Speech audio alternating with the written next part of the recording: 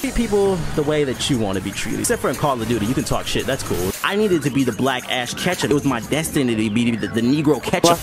But let's talk about why why all white people like spoiled milk when they take their clothes off. Modern warning. Step one, get money. Step two, repeat step one. What up, YouTube? Interviewing here, and I gotta say, 2014 was the year of overhyping and damage control in games, but 2015 seems to be the year of hating on everything. I guess consumers have been burned over one too many times and they're a bit more cautious. That's a good thing, but I think a lot of people are crossing that line from being the cautious consumer to just flat out hating. After finishing the Order 1886, I sat there and I wondered, why are so many quote unquote credible media outlets giving this a 5 out of 10? I mean, Rambo the video game got 6 out of 10 on many sites, so is Rambo a better game? Nah. The hate train for this game is just ridiculous, and it's a shame because this game is actually pretty decent.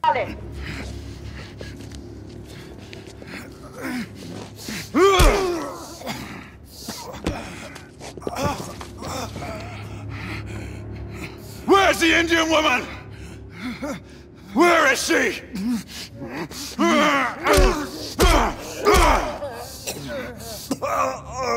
Where is she?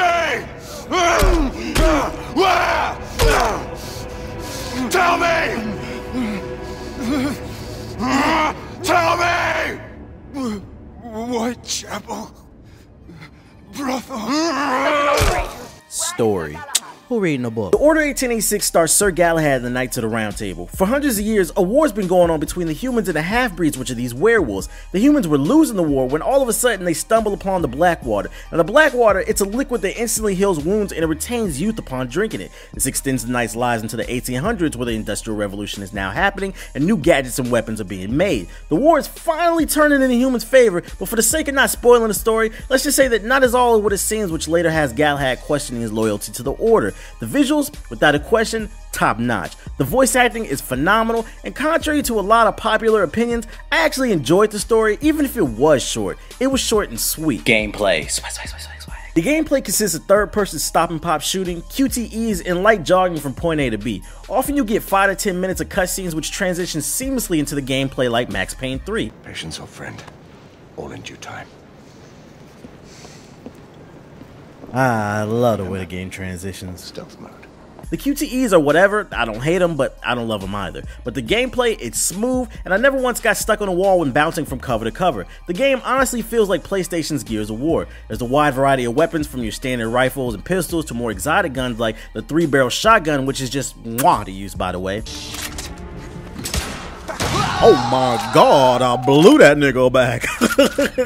There's a lightning gun and a cloud explosion gun, or whatever the hell you call it, as well as a bunch of other guns. Now, nothing in this game reinvents the wheel, but it felt very polished. I think fighting the half-breeds would be the highlight of the gunfights. They were unpredictable with their swift movements, which kept you on your toes. There's also one point in the game where you had to infiltrate a mansion, and I really enjoyed that stealth aspect of the game, and it's a shame that there wasn't more, especially since this game loves to move at a slower pace. The game is also very well optimized. It just works. No frame drops or crazy glitches were encountered on my playthrough, which is hard to find in today's gaming climate. What I hated. No swag, no swag, no swag. What the hell is the point of picking up items just to look at them? This is the most narcissistic game that I play because clearly it's in love with its own graphics. Hmm, they put Sackboy in the game. That's cool. So, what the fuck am I supposed to do? Just put look at it or something? Sackboy, Sackboy be like, Sackboy stitching on fleek, the fuck?